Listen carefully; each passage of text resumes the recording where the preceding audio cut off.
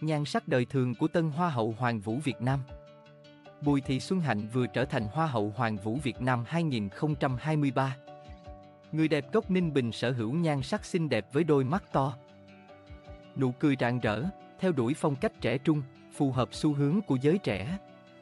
Chung kết Hoa hậu Hoàng vũ Việt Nam, Miss Cosmo Việt Nam 2023 khép lại với chiến thắng thuộc về người đẹp Bùi Thị Xuân Hạnh. Sinh năm 2001, đến từ Ninh Bình Xuân Hạnh sở hữu chiều cao 1,71 m, vóc dáng cân đối với số đo 3 vòng lần lượt 82, 60, 87 cm. Cô tốt nghiệp trường Đại học Kinh tế Quốc dân Hà Nội, từng gây chú ý khi giành Á quân The Face Việt Nam 2023 việc Bùi Thị Xuân Hạnh đăng quang Hoa hậu Hoàng vũ Việt Nam 2023 được cộng đồng mạng quan tâm.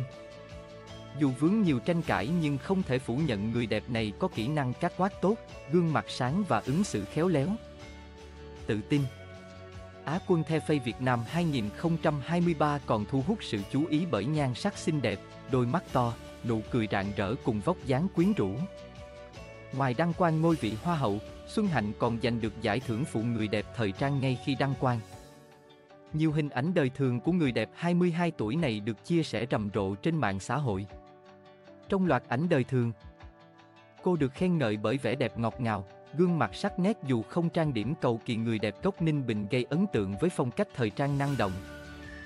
Nữ tính, phù hợp xu hướng của giới trẻ từ thời cấp 3, Xuân Hạnh đã sở hữu gương mặt xinh xắn, chiều cao nổi bật so với bạn bè đồng trang lứa người đẹp sinh năm 2001 được nhiều người ví như Viên Ngọc Thô mới được phát hiện và rèn giũa. Dù gia nhập làng giải trí chưa đầy một năm nhưng cô nhanh chóng tạo được dấu ấn riêng đặc biệt sau The Face Việt Nam 2023. Xuân Hạnh là cái tên đắt giá được nhiều nhà mốt để ý, thường xuyên xuất hiện ở các sàn diễn thời trang đình đám nhờ đăng quang Hoa hậu Hoàng vũ Việt Nam 2023. Xuân Hạnh sẽ có cơ hội tham gia đấu trường nhan sắc quốc tế trong tương lai.